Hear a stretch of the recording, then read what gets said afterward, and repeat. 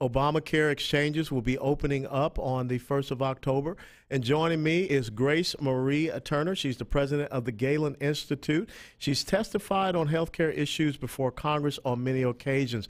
Grace, welcome to the show. Colonel West, such a pleasure to be with you, sir. Well, thank you. Now, I'm just going to read this and, and let's go with it. This is a letter that was written by James Hoffa Jr. to Leader Reid and Leader Pelosi. When you and the president sought our support for the Affordable Care Act, you pledged that if we liked the health plans we have now, we could keep them. Sadly, that promise is under threat. The ACA will shatter not only our hard earned benefits, but destroy the foundation of our 40 hour work week that is the backbone of the American middle class. And he says this vision has come back to haunt us. Grace, what's going on? This is crazy. I mean, the labor unions yeah. were absolutely bamboozled. They were told one simple thing you need to get a government run health care in place. We're going to unionize and organize healthcare workers, and you're going to get millions more me- members.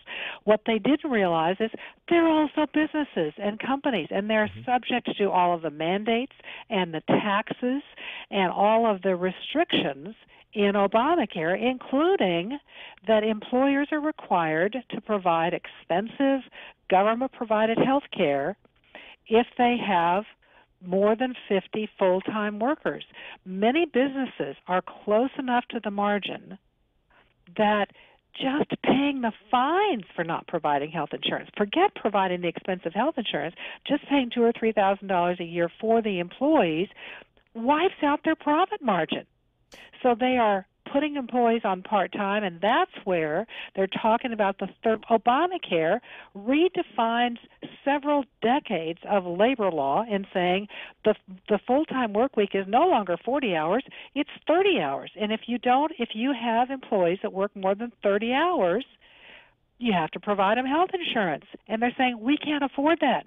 We have to put these workers on part time. Many of them move back to 25 hours a month just to give them some slack so that the companies don't go out of business with the health insurance or the fines, the costs that Obamacare imposes.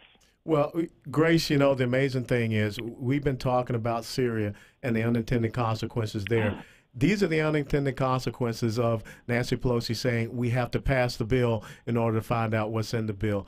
Grace, thanks so much for joining us and keep up the good work and sounding the alarm about the Affordable Care Act. Thank you very much, Colonel. Keep up your good work. I so I admire will. everything you do. Thank you so much. Ladies and gentlemen, we're going to come back from the break, and when we come back, we're going to have a live in studio interview about a new book, Under Fire The Real Story About Benghazi. Allen